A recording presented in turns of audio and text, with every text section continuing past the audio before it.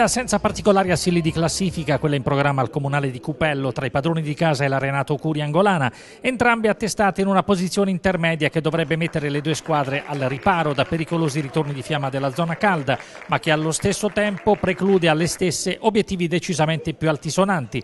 Ma se per i rossoblù di mister Carlucci la stagione può ritenersi comunque soddisfacente, i nerazzurri angolani abituati da sempre ad obiettivi più prestigiosi, la posizione di classifica di poco ai margini della zona zona play-out non può ritenersi del tutto corrispondente alle aspettative di inizio stagione. Nel primo atto della sfida l'atteggiamento delle due compagini è a dir poco indisponente, con fraseggi che diventano quasi un miraggio, generando non pochi mugugni da parte del pubblico presente sugli spalti. E anche il nostro taccuino rischia di rimanere immacolato, se non per sporadiche incursioni delle due contendenti equamente distribuite.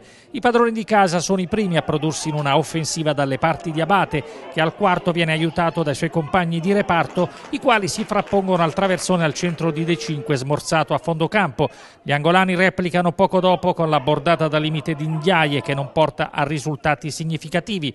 La fase centrale del primo atto non sarà ricordata per l'intensità agonistica e neanche per il gioco spumeggiante, ma i palati fini dovranno accontentarsi delle briciole distribuite nella fase declinante. Al 39esimo l'11 di Carlucci prova la stoccata con il siluro dalla distanza di Di Pietro abbondantemente completamente al lato e prima del rientro negli spogliatoi il mobilissimo Ndiaye sbuca alle spalle della difesa rossoblù ma non riesce a finalizzare adeguatamente sull'invito dal fondo del suo collega d'attacco Bizzarri. La sfera si perde alle ortiche e Michele rimane sostanzialmente inoperoso così come il suo collega angolano.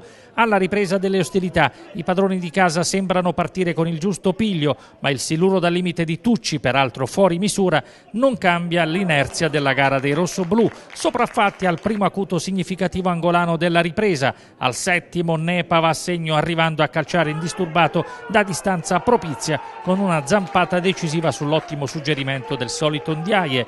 La reazione del Cupello è affidata al neoentrato Nuozzi che riesce a riconquistare un pallone vagante in area ospite ma viene murato dal provvidenziale e decisivo intervento di Laubi che vale quanto un gol.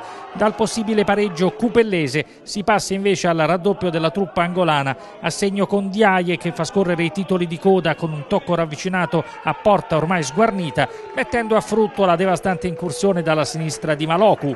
Il Cupello rimane spettatore non pagante della contesa e la squadra di mister De Eugenio cerca di approfittarne nuovamente ma in questo caso il palo si oppone alla conclusione di Bizzarri che non riesce ad entrare nel tabellino marcatori. Basso prova a suonare la carica ai suoi, ma il doppio tentativo ravvicinato, il secondo dei quali su palla inattiva, non si rivelano entusiasmanti e per Abate prosegue la tranquilla e inoperosa domenica tra i pali. Nei minuti finali ci prova anche il neoentrato Nintè, ma senza apprezzabili risultati. Prima del rompete le righe il Cupello riesce ad infilare la sfera alle spalle dell'estremo angolano, ma la posizione di De5 è irregolare e il risultato finale rimarrà favorevole alla squadra ospite. Mister De Eugenio, sono arrivati tre punti che vi consentono di sperare ancora in un aggancio alla zona playoff. Oggi però una gara abbastanza brutta da parte di tutte e due le squadre, onestamente. Ma non sono molto d'accordo perché noi già al primo tempo abbiamo avuto diverse occasioni per fare il primo gol. Certo, eh, non è stata una partita spumeggiante, però con molti spunti tecnici. Abbiamo fatto una buona partita, sofferto pochissimo e penso che sia stata una vittoria meritata. State rispettando il ruolino di marcia fissato ad inizio stagione? Certo, noi era la salvezza il primo possibile, valorizzare i giovani.